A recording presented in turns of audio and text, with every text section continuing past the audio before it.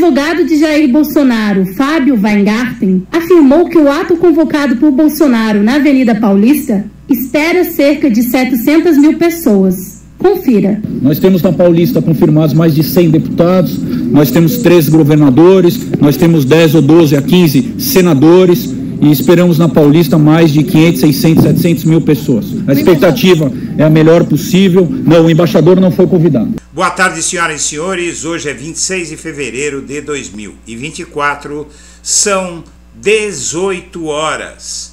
E, na verdade, você acaba de ver como foi montada, como começou a ser montada a farsa das tais 750 mil pessoas na manifestação de ontem na Avenida Paulista, em São Paulo. Aqui você vê uma reportagem da revista Oeste, publicada às 21 horas do último domingo. A manifestação havia acabado na Avenida Paulista havia umas sete, umas três horas no máximo. E essa revista Oeste, que é do agronegócio, ligada a Bolsonaro tal, eh, já divulgou uma foto e endossando a versão da polícia, da Secretaria de Segurança Pública de São Paulo, o secretário de Segurança Pública do Tarcísio de Freitas, o Guilherme Derrite, já endossou as 700 e tantas mil pessoas que uma semana antes o tal Fábio Van Garten havia dito que compareceriam.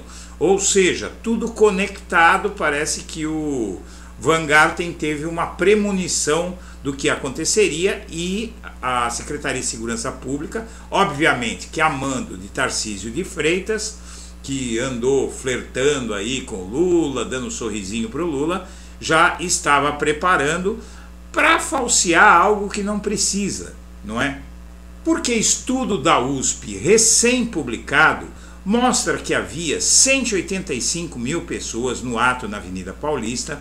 A USP, o laboratório da USP, sob a coordenação do acadêmico Pablo Hortelado, eh, colocou do, drones para sobrevoar a Paulista, tirou fotos e uma, um programa de inteligência artificial eh, mensura pelas fotos dos drones as cabeças das pessoas e consegue contar.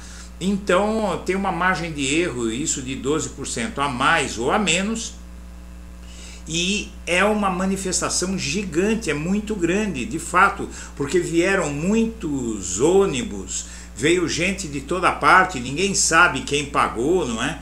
Mas uh, a região estava intransitável da Paulista por causa dos ônibus vindo de outros lugares, que evidentemente, como no 8 de janeiro, foram pagos por alguém. Então vem aí o novo escândalo, um novo inquérito, não é? E também por conta da, dessa farsa toda que estão montando com o apoio do governo do estado de São Paulo e, em última instância, do governador. Apesar do desmentido da USP, a Polícia Civil de São Paulo, também sob a batuta do governador Tarcísio de Freitas, acaba de divulgar um vídeo que tenta reforçar a história das 7 mil pessoas, como se mostrando a avenida de cima, isso significasse que aquele número de pessoas que está lá são as 700 mil pessoas. Vamos ver o vídeo. A corporação diz que o objetivo único e exclusivo foi de mostrar atuação para garantir a segurança, mas está claro que se trata de uma tentativa de fazer valer a versão das 700 mil pessoas.